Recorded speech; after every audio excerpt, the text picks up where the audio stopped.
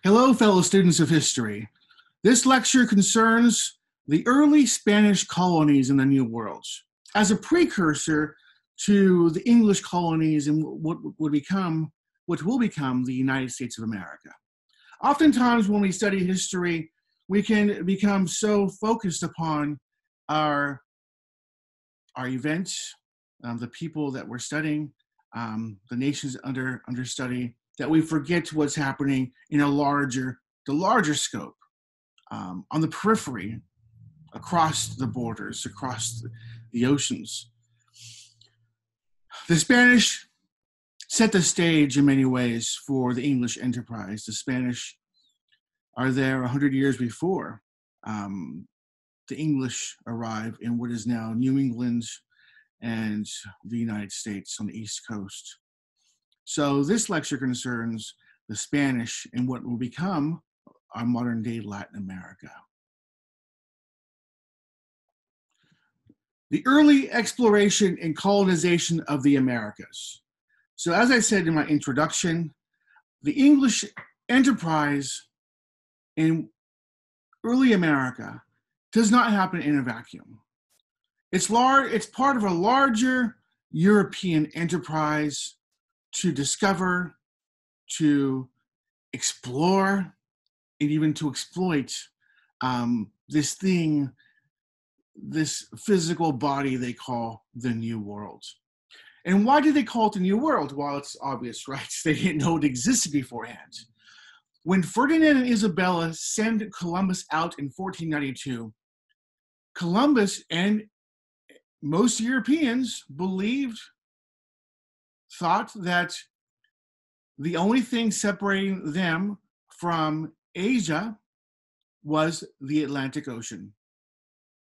And so when Columbus sets sail west for Cathay, Cathay, which was China and India and the Spice Islands, when he lands in the Bahamas, he thinks he lands in India. And that's why American natives are mistakenly called Indians because Columbus thought he landed in India. Um, when Europeans realized that this was actually a new place, their, their minds were blown and they called it the New World. I often think what it would, would have been like to discover whole, not just an island or group of islands or large islands, but discover from the European perspective um, a whole new continent. What was that like in Europe? I think it would be like as if we discovered a new dimension and we can walk through that dimension and, and encounter new peoples and new civilizations. It actually was that exciting. If you read the literature and look at the paintings of the day, um, European thinkers and peoples and artists were energized. They were so excited about the possibilities of this new place. From their, from their perspective, it was new, of course. Of course, from the perspective of Native Americans, um, no one discovered them, right? That's like a stranger coming to your house who you've never met before and proclaiming he discovered you. You're like, what? Discovered? No, this my house, man, and I've been here for 30 years. What do you mean? Well, you're you're new to me, so you're my discovery. Well, from, from the native perspective, they weren't discovered. From the European perspective, this was all new territory and their imaginations were blown. They didn't know what to expect. They thought they were monsters. The Spanish believed that perhaps a new world was a realm of Satan. And the possibilities were endless.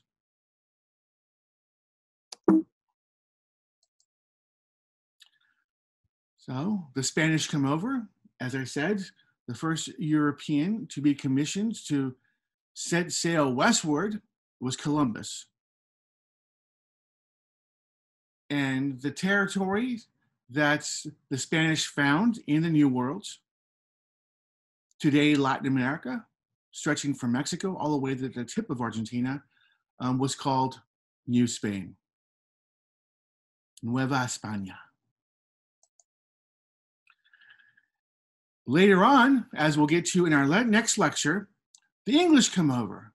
Um, of course, all of Europe hears about the exploits of Cortez in Mexico.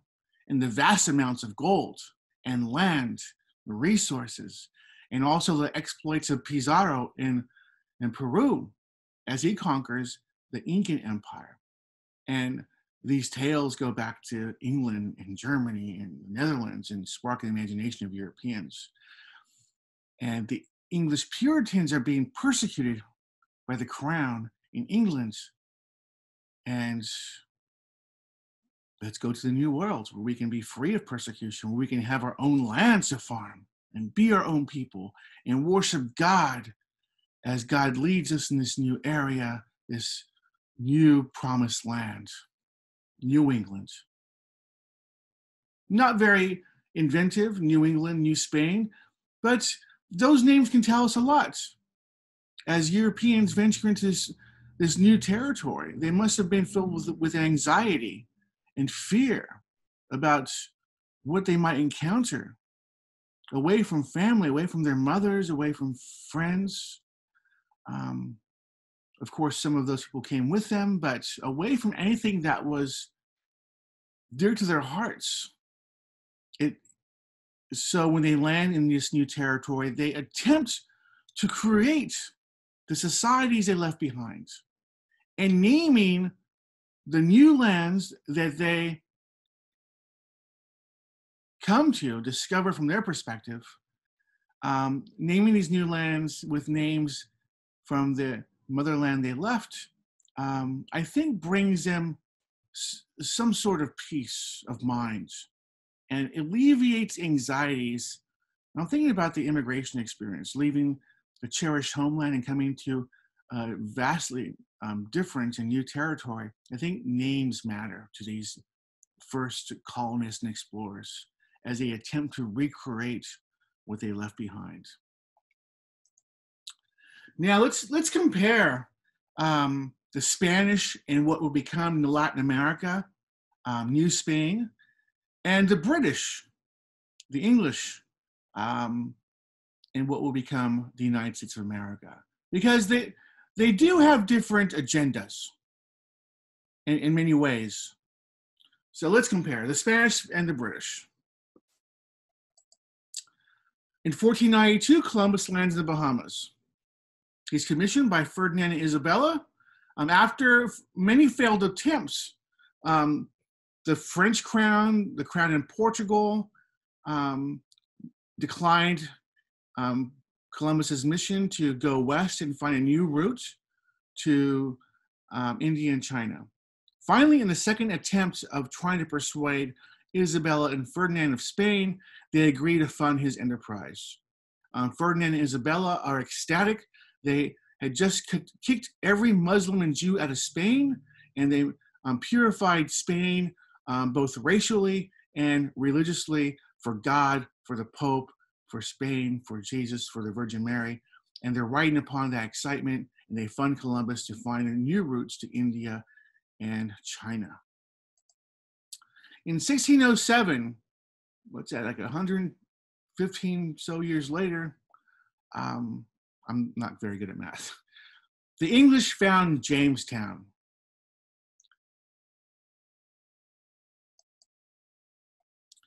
At first, when the Spanish come over to the New World, um, they're, men. Um, they are young soldiers, mostly young men looking for adventure and gold. Part of a nation persecuting Jews and Muslims, as I just said, in 1492, um, Ferdinand and Isabella kicked every Jew and Muslim out of Spain, and those who wanted to stay because they were Spanish, right? They they were Jews and Muslims, but they their families had gone back centuries in Spain. This was their home, but they were forced to leave. But those who wanted to stay were forced to convert to Catholicism. But many Jews didn't because this was their cherished religion. This is the religion of their fathers. So outwardly, they pretended to convert to Catholicism in order to stay and, and keep their jobs and their homes and their lands and, and their wealth. But at home, secretly practiced Judaism. And this was the start of the Inquisition because some neighbors told on them and he got back to the Catholic Church. And many Jews were killed during this time called the Inquisition, burnt at the stake, tortured, and and a great portion of those people who survived um, sailed to Latin America, to this new territory. Unfortunately, the Inquisition followed them. And in downtown Mexico City, after the Spanish conquered the Aztecs, um, many Jews were burnt at the stake, which a horrible, horrible chapter in Mexican history. So the conquistadors to come over from Spain are part of the persecution, right? Not from their perspective, because they believe they're doing God's work. They believe that they are missionaries in the same um, lights, the same type as the Old Testament um, followers of Yahweh who are coming out of the promised land. And God t- tells them, I've given you a promised land, but there are people living there now. Um, they were unclean, they worship false gods. I want you to go out and wipe them all out. Babies, mothers, grandparents, even sheep and cattle, I want nothing left. And so this is a type of soldier for God the conquistadors are. They have a sword in hand, they're looking for gold, and they believe that they're led by God and the Virgin Mary to do God's work. Different in many ways from the Puritan Pilgrims who comes to New England, to found New England. At first, mostly men at Jamestown. But thereafter, many family units different than the Spanish. When the fa- when the Spanish first come, they don't come in family units. They come as men, mostly young men, looking for adventure and gold. But the English bring their families. Puritans fleeing religious persecution. So the Puritans and Pilgrims, unlike the conquistadors, are not of the persecuting national unit. They're fleeing the persecuting nation. They're fleeing the monarch who is persecuting them and looking for a new home to practice their religion. Remember, keep in mind, it's an, it's an error to think that the Puritans come over um, to establish a nation where everyone is able to practice their religion freely. They're not. The, the Puritans are adamant that their way is the only way, as of course many Christian denominations are. Um, this is essential to Christianity. If you read the New Testament, right, it's the only way. So they don't come here to establish a religious, religious haven. They come to the New World to practice their religion freely. Because as you'll, if you read um, more history on your own, you'll see that the Puritans actually began persecuting the Quakers, who they believed were um, practicing a false religion, and actually killed Quakers. There was conflict between Quakers and Puritans um, during this this formative time in the English colonies. And these early English groups hated Catholicism. They hated the religion of the, of the conquistadors in Spain. Um, during the Reformation, when Northern European countries broke away from the control of Rome and the Pope, uh, many reformers be- believed and wrote um, tracts describing the Pope as the Antichrist and Rome as the great whore of Babylon mentioned in Revelation. And in fact, if you read your American history, uh, for, for a very long time in America, Christmas was not practiced. Of course, now Christmas is considered a very Christian holiday. And there's even political debate on um, unchristian forces trying to take away Christmas every year, right? But the English Puritans and and pilgrims would have seen they've they viewed Christmas as a Catholic holiday and a, a devilish holiday. They wouldn't touch it, right? That wasn't their holiday to practice. Not until the the late 19th century and early 20th century, um, mid 19th century, did Americans began to um, somewhat um, observe Christmas.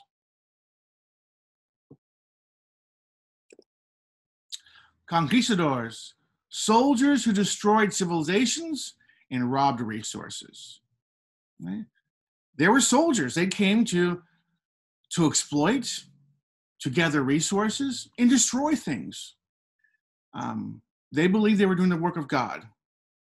And they before they encountered Mexico, they already had the belief um, from centuries of fighting Islam in Spain, they already had the belief that they were soldiers of God and they were on a mission to fight the devil.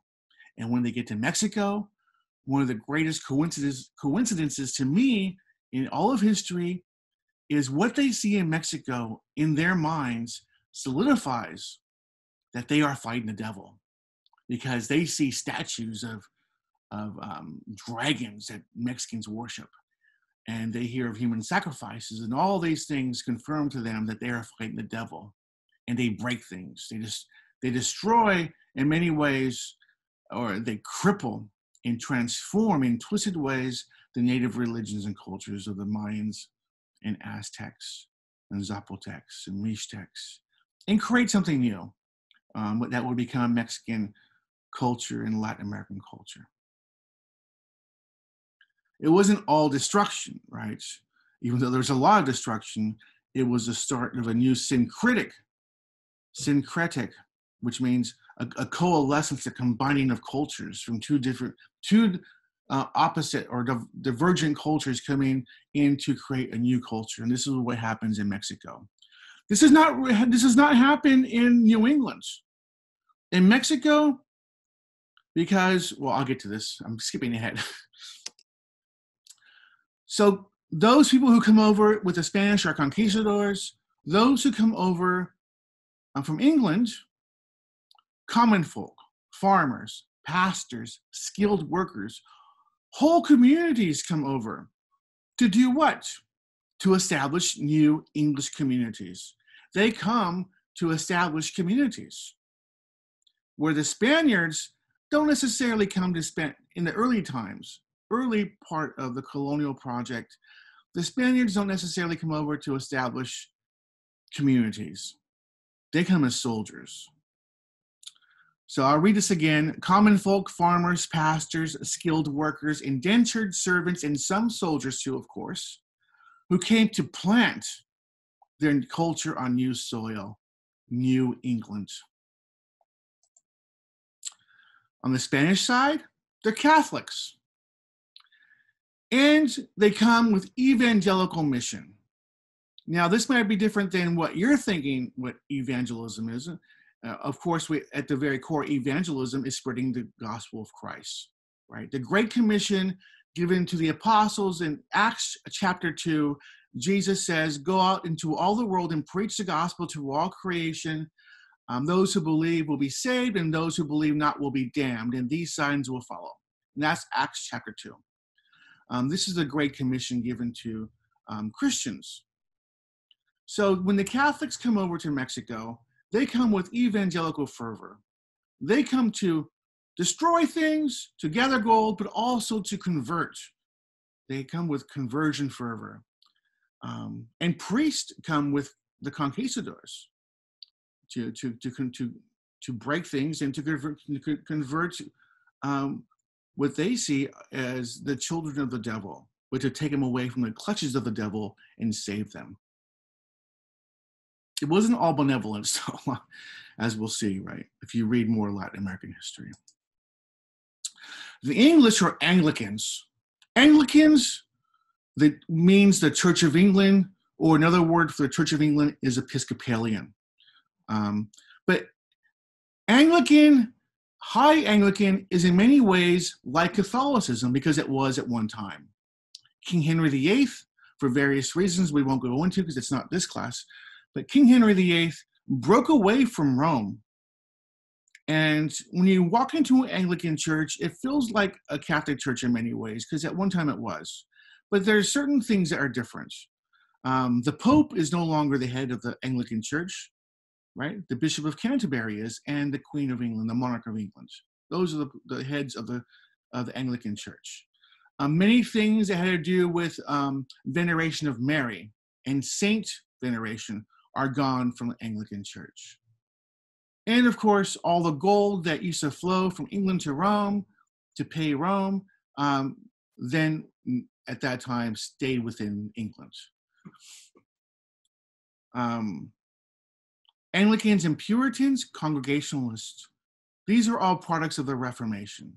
These are Protestants the word Protestant means a protester against the Catholic Church. That's how they got the name, right?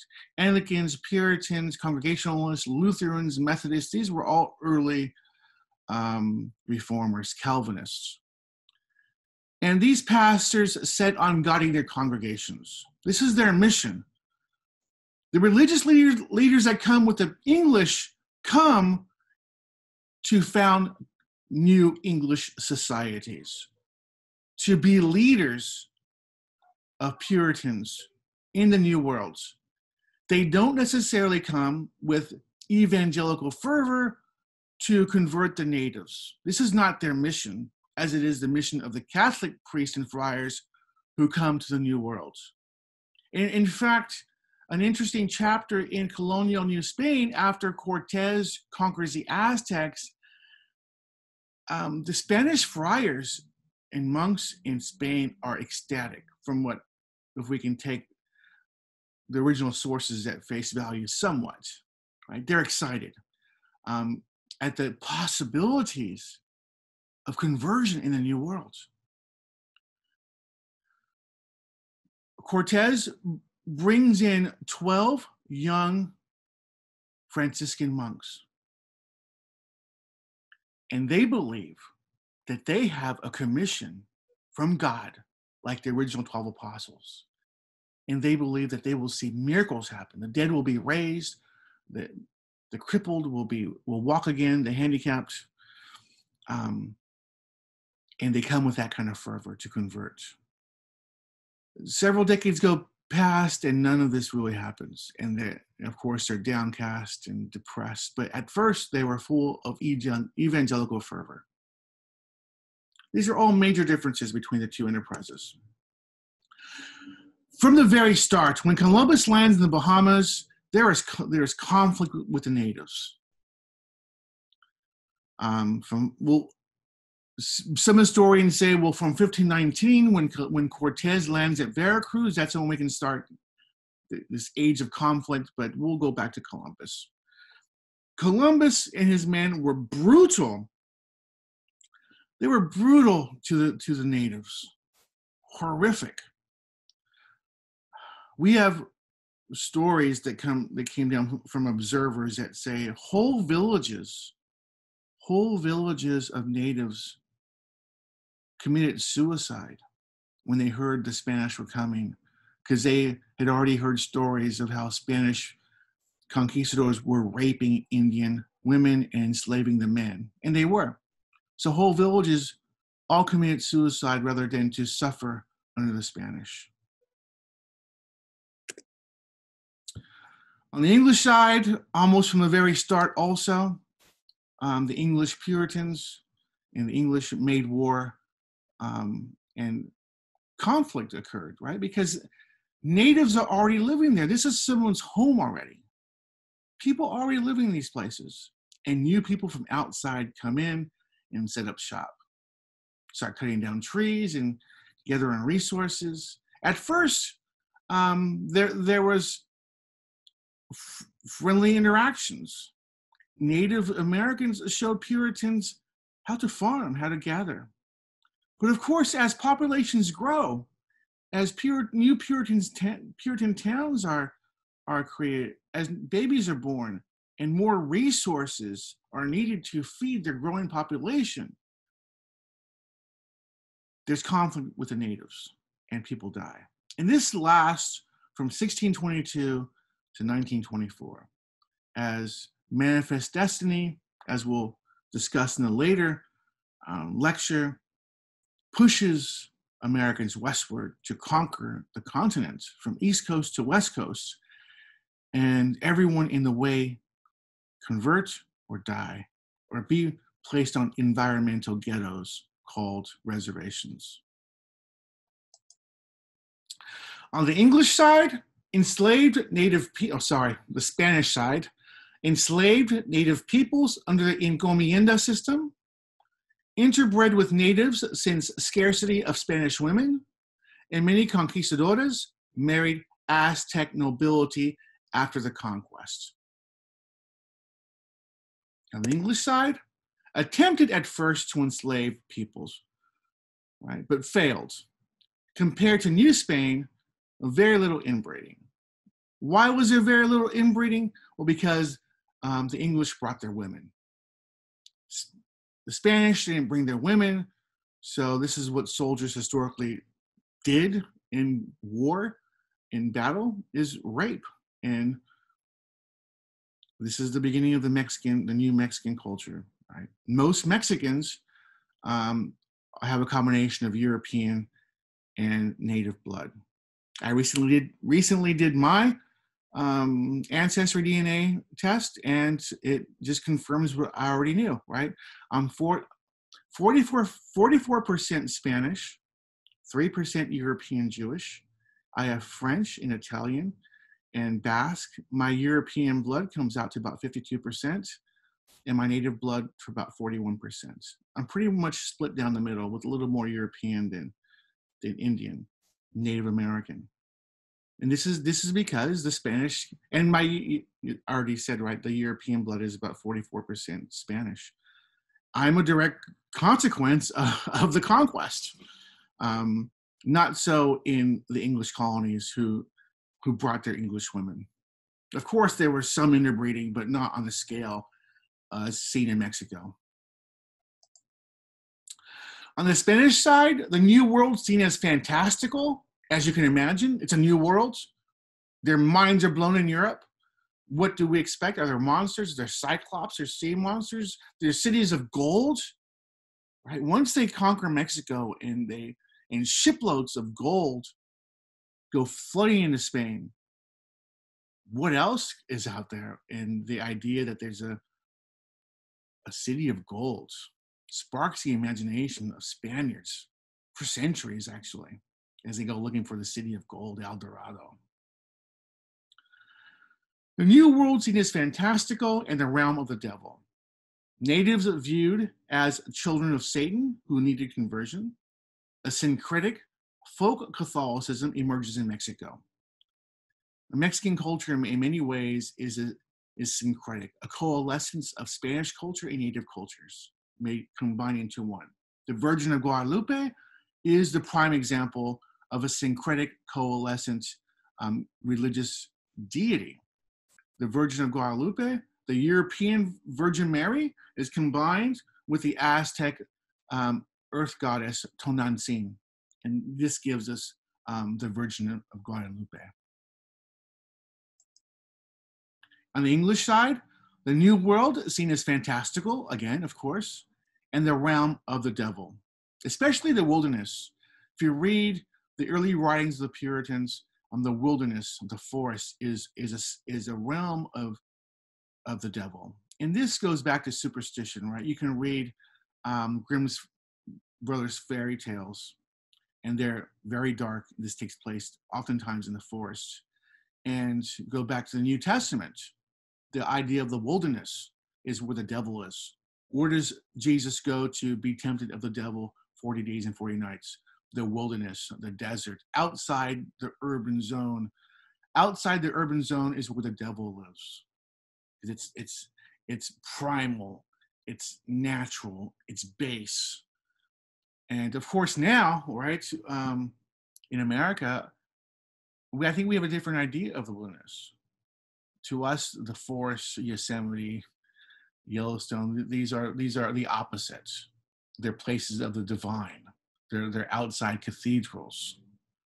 Um, but not, not so to the Puritans. The Puritans see the wilderness as the realm of the devil. And it's not always, but um, most often. And this also goes back to European superstition. When we think of Puritans, we think of Puritans who are 100% Puritan, who are for 100% the Bible, and um, but th- but really, in, in, in, if we went back in time, many of these Puritans still held medieval superstitious beliefs going back to the Celts, ancient beliefs. Um, there's a common, there's a, a, a mixture of biblical belief and superstitious belief. Right? Natives viewed as savage and antithetical to Christian and English culture. So both the Spanish and English view native, native culture as savage. Natives must be removed, not assimilated. Of course, in some places, and some voices want to assimilate the, the Native Americans, but overall, generally, the natives are viewed as something that must be eradicated. And this also occurs in, in Spain and New Spain and Mexico. There's wars um, against the natives up until the 20th century, and they were seen as antithetical to progress and they had to be removed. Um, natives must be removed, not assimilated. Protestantism is untouched by native religion. So in Mexico, Catholicism, in many ways, in many instances, uh, mixes with native cultures. And this was this this happened throughout the centuries as the religion we know as Catholicism, at one time just Christianity before the Reformation, as Christianity or Catholicism um, saturated Europe, it often um, mixed with the local religious beliefs and icons. There's a great example. A, a, a statue of Apollo was found in the base uh, a basement of the um, the Vatican, uh, an ancient statue of Apollo, this young, um, handsome god. Apollo's name is scratched off and the name Jesus overimposed superimpose. This is syncretism, a coalescence of two different religions to create one new one. Reasons why the Spanish and Portuguese start to explore. Right? Why did they start venturing out? That eventually led to the discovery and exploration of this thing they call the New World. It was an extension of the Reconquista. In the next slide, we'll talk about the Reconquista. This great energy that was built up over centuries unleashes onto the New Worlds. Curiosity about the African coast. Of course, Europeans had always known Africa was there. Africa is a, is a Roman word. The Romans knew Africa was there. Um, there were Africans in Rome. It's just across the Mediterranean. But new technologies allow Europeans to sail further along the African coast than ever before, the Western African coast, and all the way down to the tip and over to India. New technologies, new technologies allow Europeans to sail, to sail around the world like never before.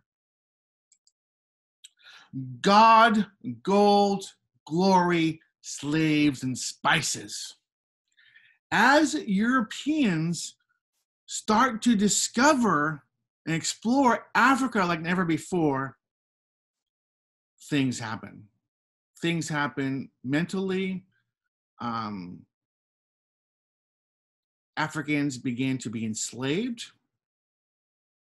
Africa, African resources begin to be exploited like never before. And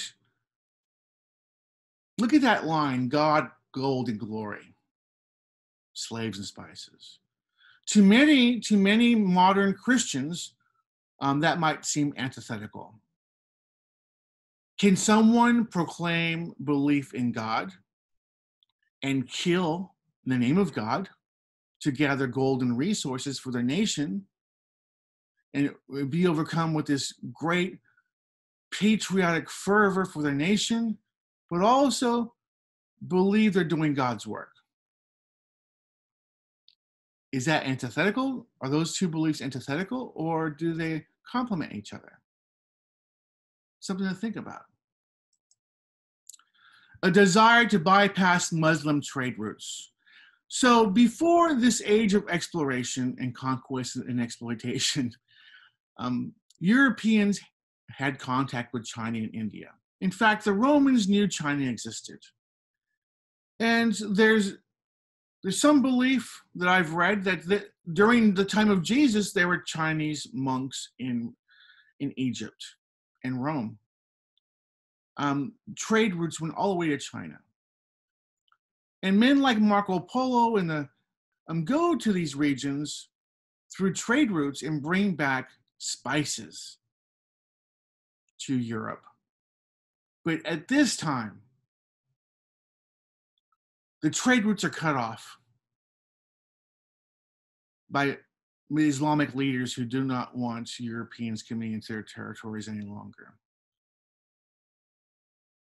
And so a new new routes had to be found to get to China and India across the ocean. And this is the reason why Ferdinand and Isabella send Columbus off is to find a new trade route across the ocean because they couldn't no longer um, traverse the land to get to China and India through Muslim held, Muslim held territories. This is a map of the Reconquista.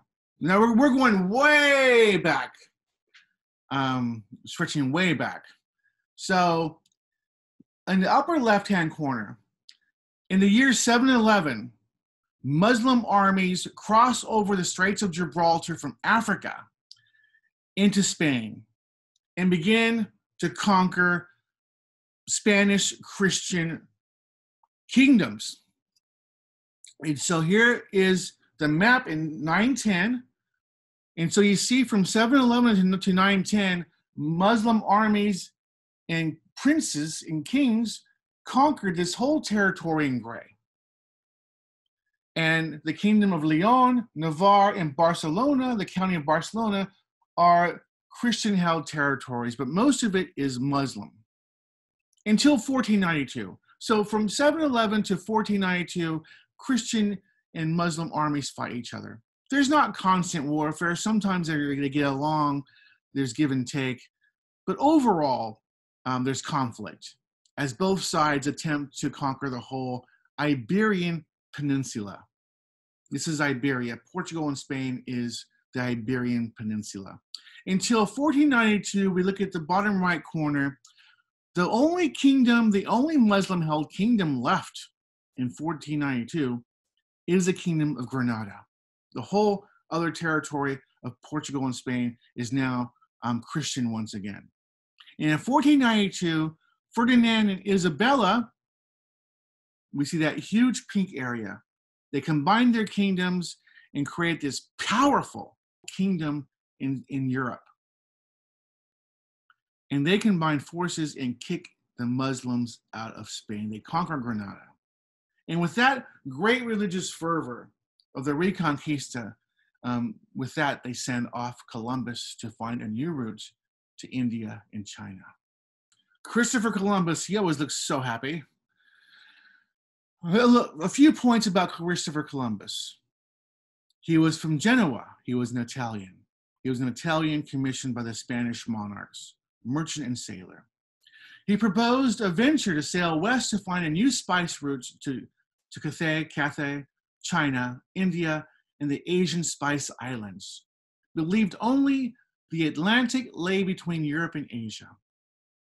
After rejected by England, Portugal, and France, and twice refused by Spain, finally in 1492, Ferdinand and Isabella agreed to fund his expedition.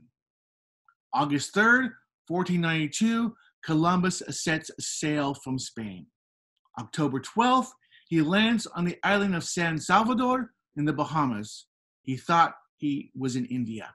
That is why he called everyone there Indians mistakenly. The same year, again, 1492, Isabella and Ferdinand kicked all the Jews and Muslims out of Spain. Of course, as I said, those who stayed had, had to convert. Many who converted did so outwardly, but at home practiced their religion. And so we have the Inquisition who killed many of them off when they found out they were lying to the Catholic Church. Columbus's discovery of the New World would lay foundation for the Spanish Empire in Mexico and Peru and spark the imagination of all Europe. Here's some dates for us.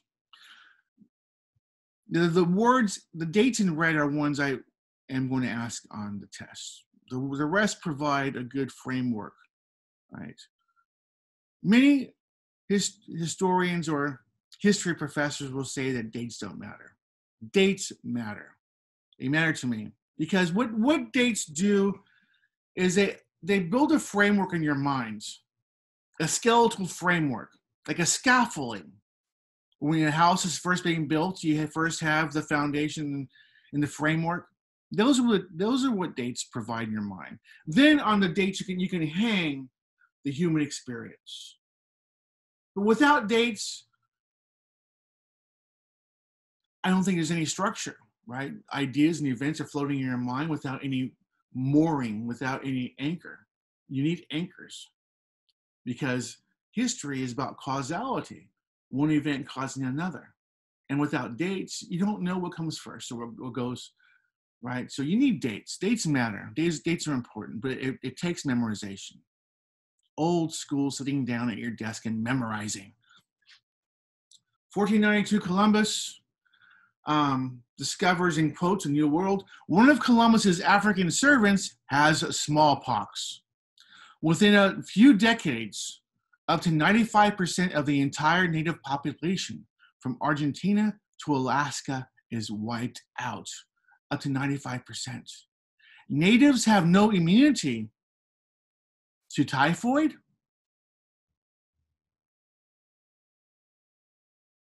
Sorry, that's a complete um, grammatical mistakes where I wrote no in all those. So natives have no immunity to typhoid, flu, smallpox, or the measles. 1519, Hernan Cortez lands in Mexico at Veracruz. And for the next two years, he marches west into Mexico as he hears tales of all this gold. And that's a great story. If you want to read a great epic adventure, read The True History of the Conquest of New Spain by Bernal Diaz del Castillo. He was one of Cortez's lieutenants. He was there, and he wrote a, a great history of this time period and the conquest of Mexico. Um, it's a great read. Please read it.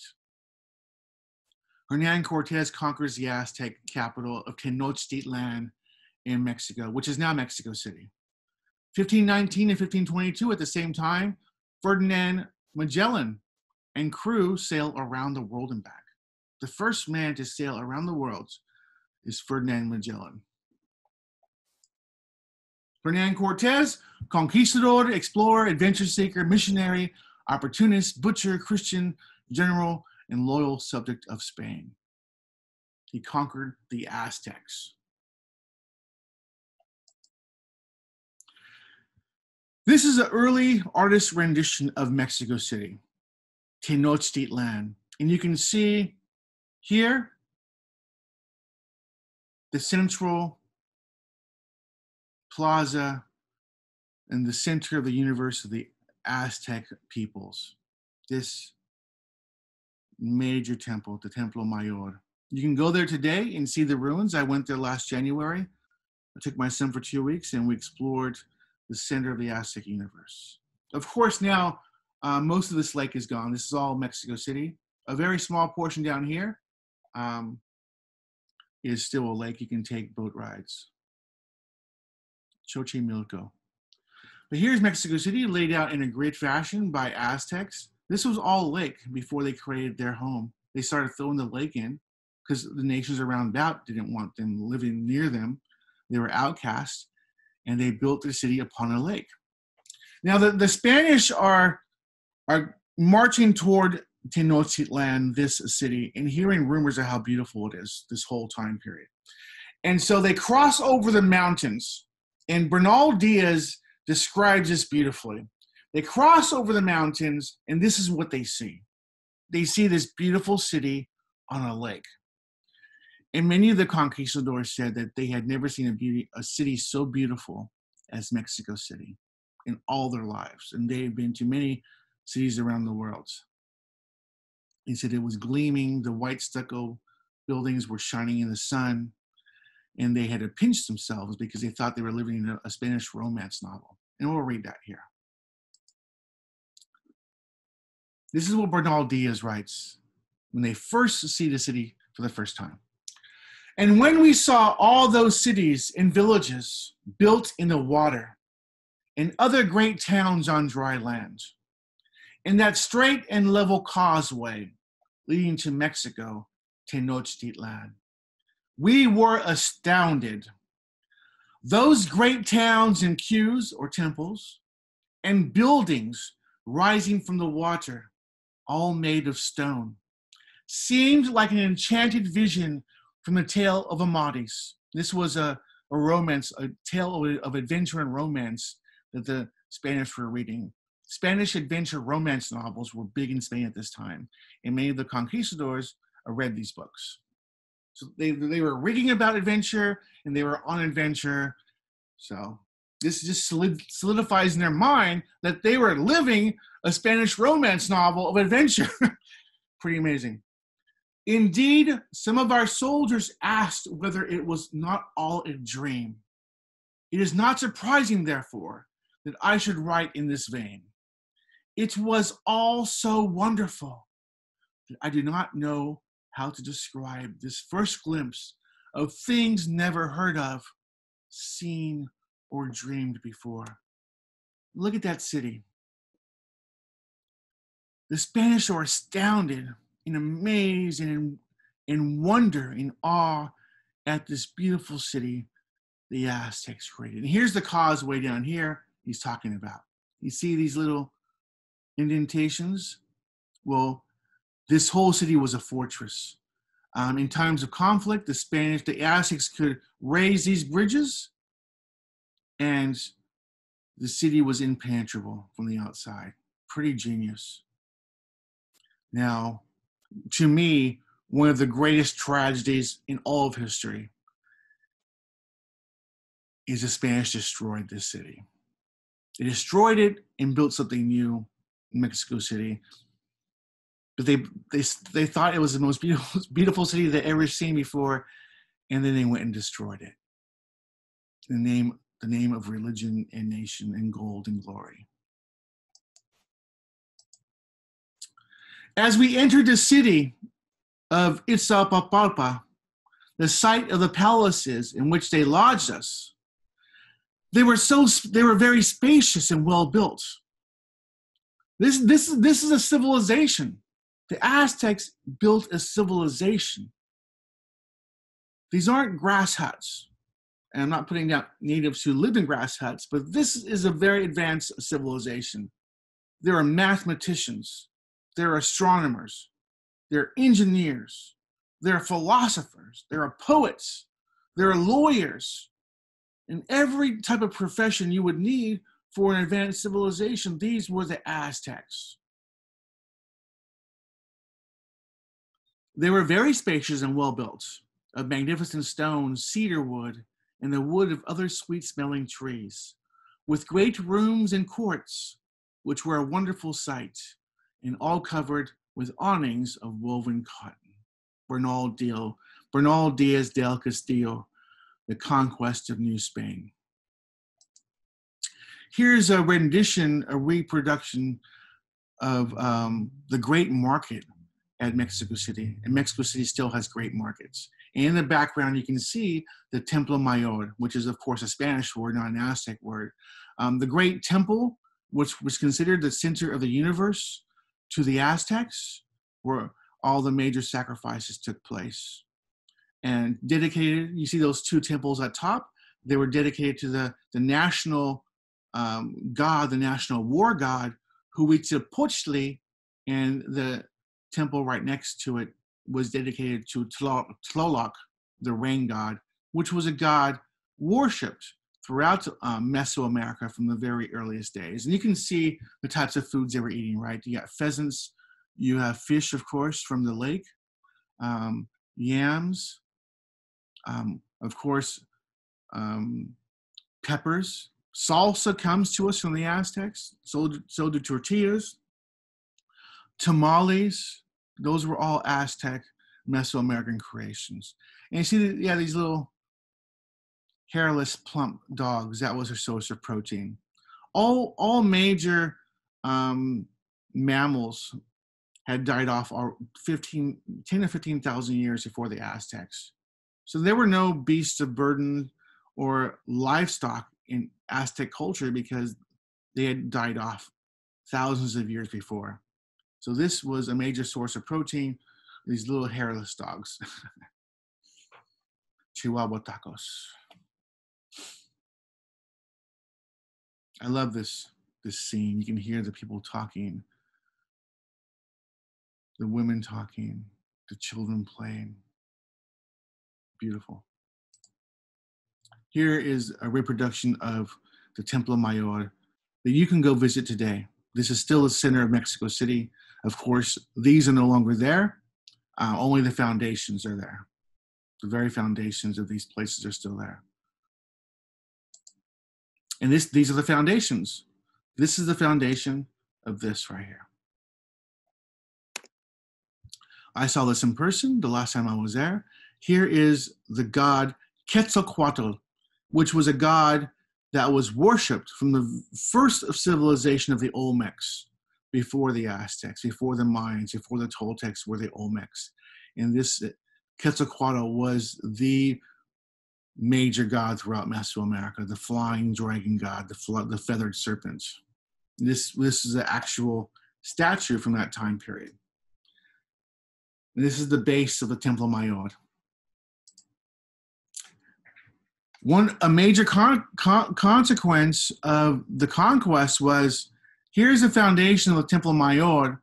Um, when the Aztecs were conquered, the Spanish made the Aztecs take down their temple and with the same masonry build the foundation of the great cathedral you see in the background.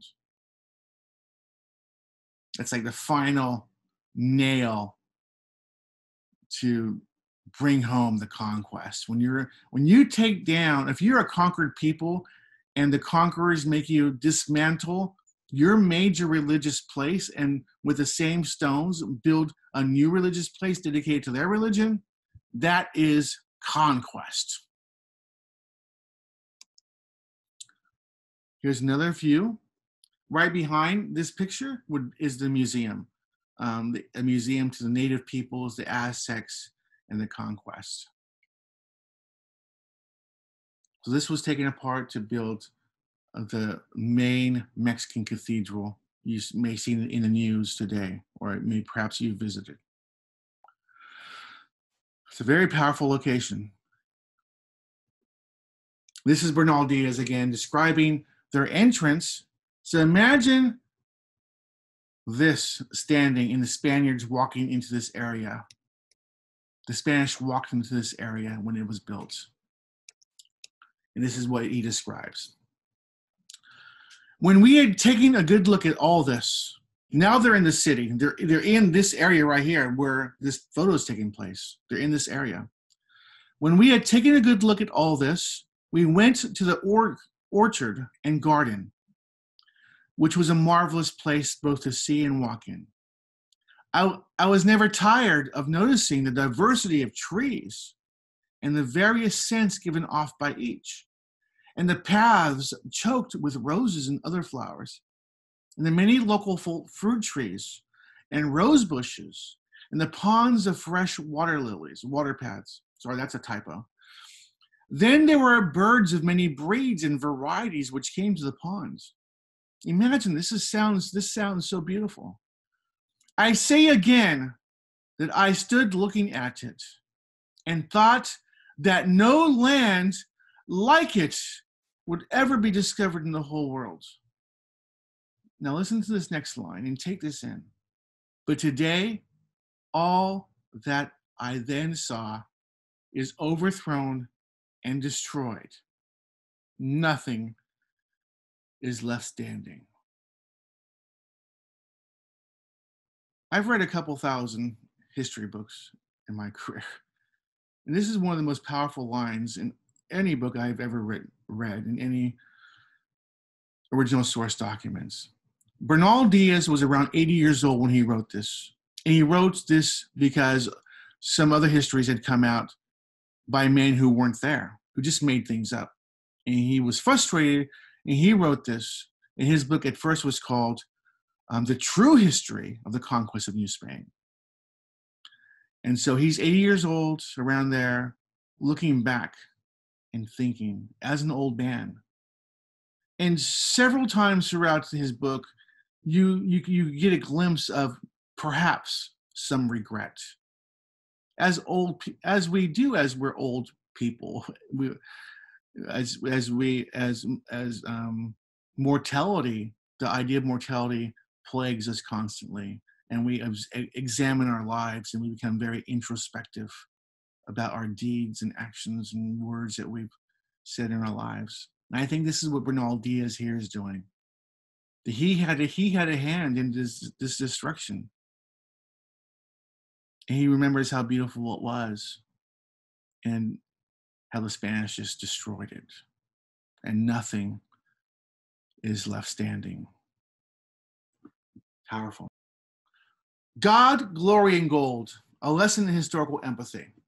So let's let's revisit this question again. This this event, the conquest of Mexico, allows us a great opportunity to explore this idea of historical empathy. So place yourselves in the shoes of a 25 year old Spanish conquistador. Um, generally speaking, this is a believer in Jesus. This is a believer in the church, a believer in the Virgin Mary. He believes that he's being led on a mission to spread Christianity, but also to gather gold and perhaps slaves and resources for Spain, and to kill in the name of God, in the name of Christ. Is spreading Christianity, but also killing natives and enslaving natives and gathering gold, are those things antithetical? What do you think? When you think of conquistadors,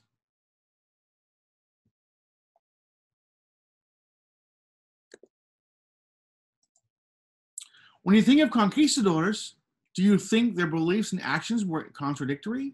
If so, why? If not, why? Is it possible to be deeply religious and kill, enslave, and rob in the name of God? No, why not? Does true religion need to be peaceful? If so, why? What is true religion? In fact, throughout history, religion and warfare are inextricably tied together. And I think you've seen this in the past few decades in America when a, a, a terrorist event happens and people are people die in the name of a radical Islam. And you hear someone on perhaps a, an American religious leader comes on and says, This is not true religion. True religion is not violence, but peaceful. Well, my my answer, answer to that is well who said who said that religion is not violence? In fact religion religion throughout history has been very violent. And the violence was not contradictory to religion.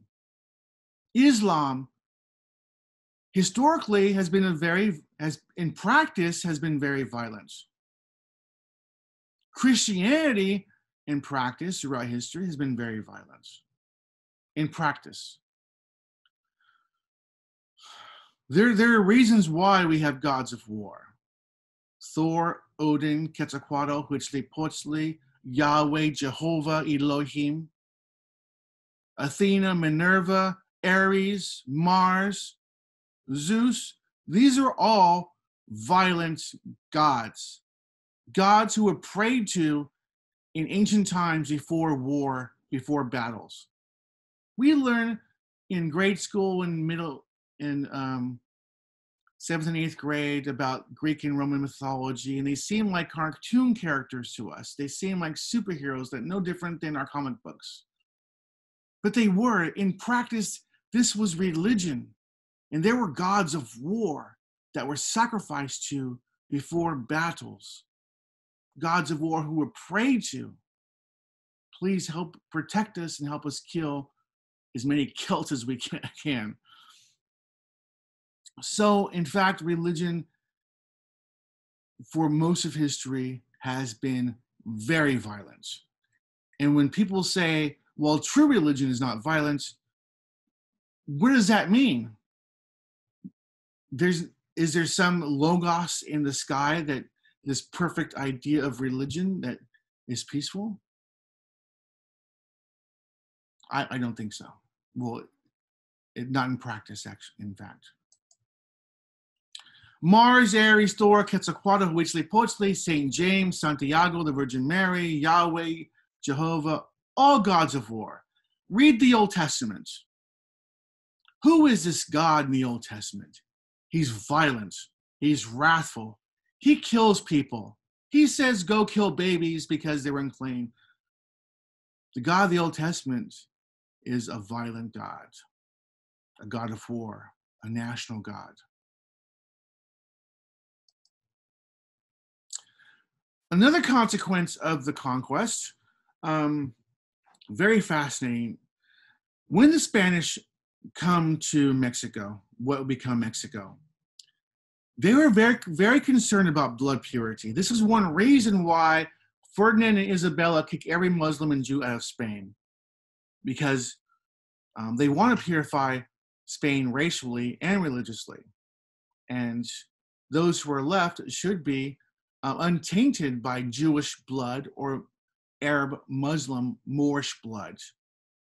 And if you are, if you do have a grandparent who's Jewish, then you're not you're not you're not 100% Spanish, right? You're you're Jewish and you're tainted, you're unclean somehow. So when the Spanish conquistadors come to Mexico and start interbreeding, I think this causes anxiety in Spain because they were already hyper concerned about blood purity. And this idea of blood purity that the Spanish create first will then influence the English colonies into a great extent um, Southern slavery. Um, the KKK on their major emblem on their their robe is the blood drop, the blood cross, and the droplet of red blood signifies blood purity, and this can be traced back to Spain and the Spanish in Mexico. Hyper concerned with blood purity.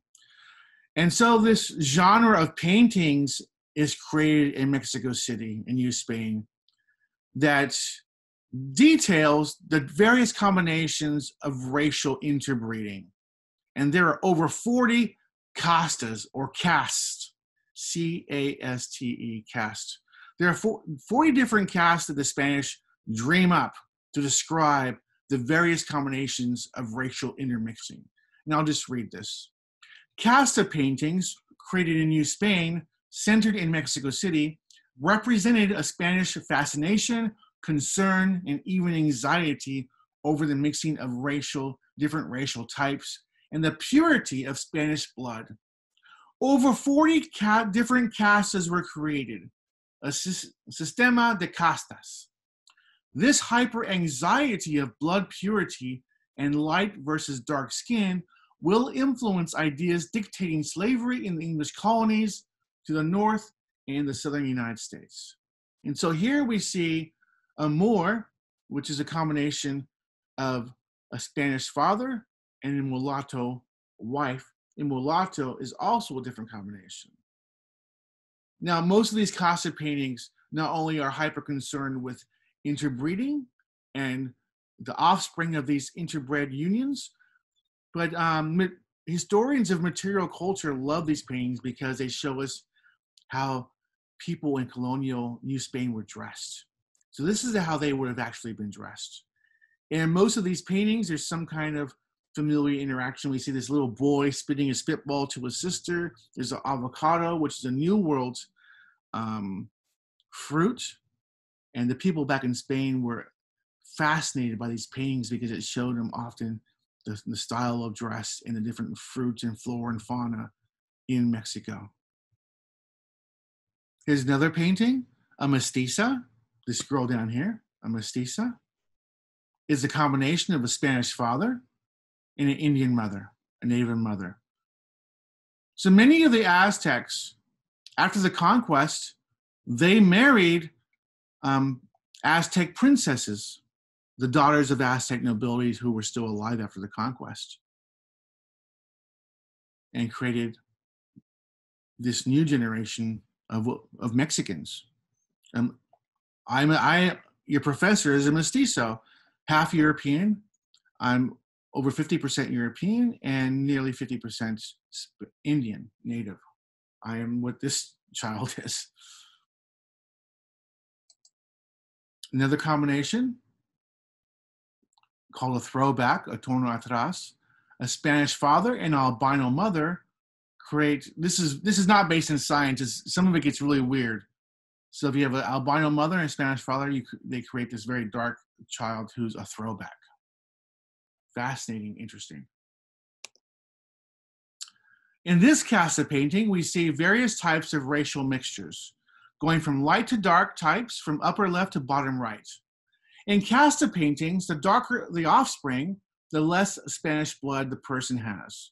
Until we get to the bottom levels where no Spanish blood runs through the veins and the person is savage like, barefooted, irrational, and violent.